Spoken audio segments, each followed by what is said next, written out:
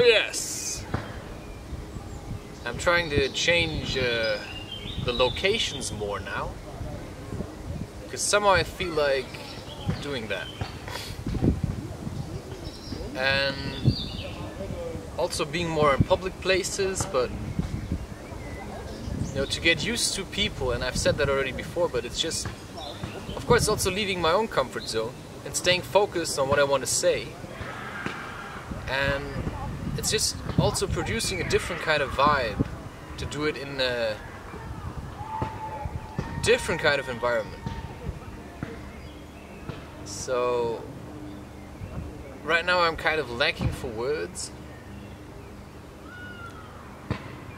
But that's also because there's quite a lot of disturbance.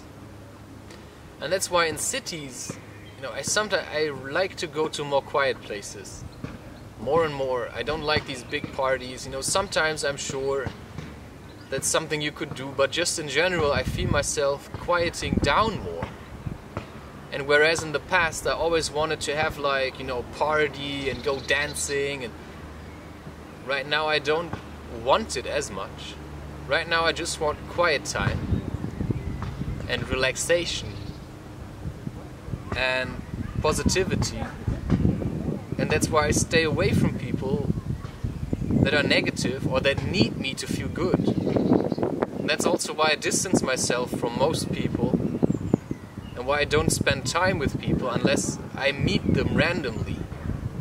So I leave it up to to my life to say, you know, now you go to the park and then you meet somebody. If I don't meet them, I don't reach out to them. So, you know, unless they make an effort effort to come into my life. But then I also have to say, you know, do I like you to be there? It's like with that friend, he contacted me because his girlfriend broke up with him, so he felt shit. So he came to me because now suddenly he wanted me to make him feel good. So I'm not a replacement.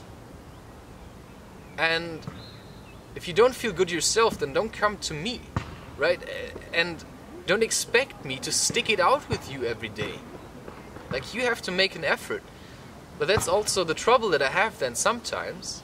Because, in a way, sometimes I also depend on other people to make me feel good. Because if I have the feeling I could help them, then it makes me feel better about myself. And that's, of course, what other people have with me as well. If they have the feeling they could help me, then they feel better about themselves. And that's just this kind of leeching off of each other, which I try to avoid. But that's sometimes really hard because you just get into the habit of doing these things. And that's why then, you know, if a woman comes to you and she just wants you to make her feel good. But if you then once feel bad and she gives you shit about it, I mean, what's her deal? Then she's just with you because you make her feel good. But if she, you know, it's about her making you feel good once, she doesn't do it.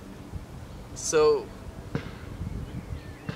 then you can of course say that that you don't like it, and then you can stop giving her something, and then see how re she reacts, and she may may leave you then. That's just how it is because if she doesn't get your energy anymore, if you don't have sex with her, she just suddenly is not interested anymore. And then you just know it wasn't you she liked, no, it was just what you were giving her all the time.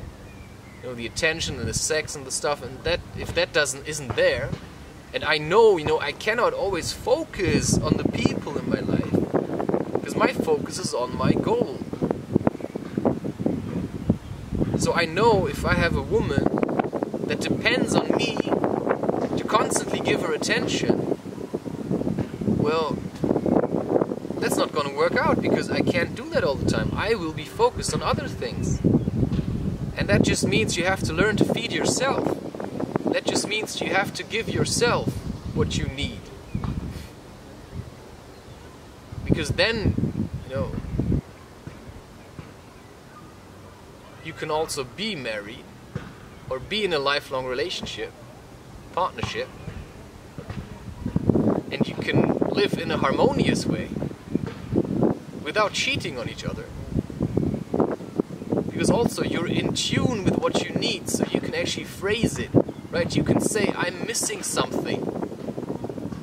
You can go to your wife or your husband and you can say, honey, I'm missing something.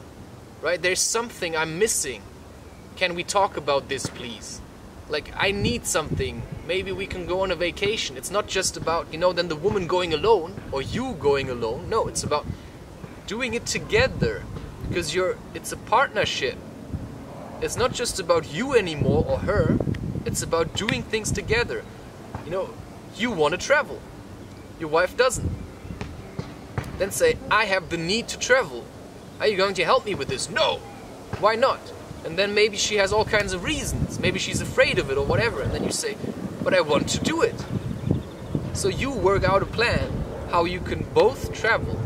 And if she's afraid of traveling, you just say, hey, I have experience doing it, you know, let's just figure it out. And maybe it's the money, then you say, hey, but for me it's important. And money should be used to make experiences and not to like pile it up. So let's figure that out. Oh, I'm worried about this or that, and you say, okay, let's figure it out. But if you have something you need, then it's for the both of you to work it out and not to just say no. And that's the same with sex, of course. If the man also wants, because it's important in a relationship to have sex, you don't have to have that every day. But if your woman start, stops having sex with you, or the husband doesn't want sex anymore, or the boyfriend or girlfriend, then something is clearly wrong because sex is a form of communication. So you have to work on that. Why don't we have sex anymore? Because we don't take time for each other.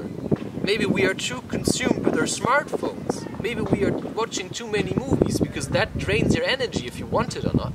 But it does it. So it's for you then to figure out what's wrong at the moment and how can we change it so that we have more space for each other So maybe we're also eating the wrong foods. Maybe we have to eat less heavy stuff so that we feel more energetic to have sex. And maybe she's, you know, not attracted to you because she doesn't like your coffee breath or because you smell like cigarettes. Well, are you willing to change that for her? Because just because you like smoking doesn't mean she has to. So if she's not a smoker, then maybe you should stop smoking too. And if he's not on the phone all the time, but you are constantly, then maybe you should do something about that because he has time for you, but you're just always concerned with your phone.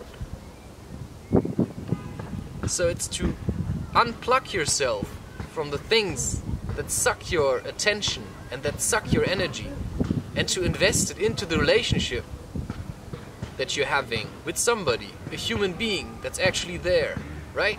That tries to love you and keep it together. So you have to work with him or her. It's, you know, doing it together for the rest of your life. You know, that's the mentality you should have.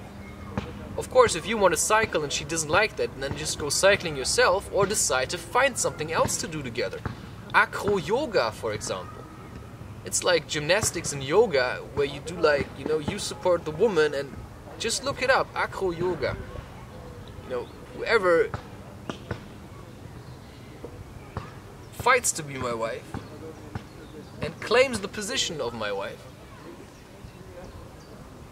probably will get to do that with me because it's also getting in tune with each other for, but for that of course you need to be in shape so start working out have a goal like, right? I want to be able to do 100 push ups, or 50, or 60, or maybe just 20 for the beginning. But you want to stay in shape. So I know, for example, if I were to go on holiday tomorrow and go hiking 20 kilometers every day, I could somehow manage because I'm quite fit. And most people are not fit at all.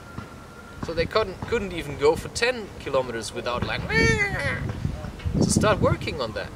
Start to be able to do these things on your own and do them on your own. So that when a woman comes, you can actually do it together then. But you can do it already. So you will also attract a woman that can do the same. And if you meet somebody that has completely different ideas about life, you know, you can then of course say, well, it's better her than no one. But you can also say, no, I'm just gonna wait, right? I mean, probably something else is gonna come up. Because you can always feel in love with anyone. But if you're not somehow heading in the same direction, so that's why I know, for me it has to be a woman that is like, like quite spiritual and that believes also in like ghosts and shit. And that you know probably lives vegan and doesn't smoke and has like you know the wish to grow together and maybe is also not too anxious about psychedelics at least sometimes so i know these things they should be like this and if they're not then i'd rather say you know maybe another time right because then it just doesn't work out because I, I want a partner. I want to do things together. I want to travel in the way that I want to travel. So she has to be adventurous, right? I know that already. I once met somebody and, you know, I liked her and she was somewhat attractive. But when I saw her cycle, I realized, no way. She didn't even know how to cycle. She was just afraid of everything. I mean, that would mean I would have to take care of her and I would have to take care of my child because my life is going to be adventurous. Like, bam, right? Doing stuff in forests at night. Where most people shit their pants, you know, my wife has to say, I like that. You know, I want to do this. Let's do it together. Building fires, doing like shamanic work. That's quite scary. To support people in their healing process. It's scary. I need a tough wife. I need a really tough wife. And that's what I'm trying to attract. And that's why women that don't manage to work towards me because, you know, they expect me to run after them, that's just not it. That's just not it. I have to, you know, that's just not it. If you expect me to run after you, then you don't want me enough. And that's just the point. That's just the point. And that's my decision, and I'm rather by myself than to sell myself to a woman for sex.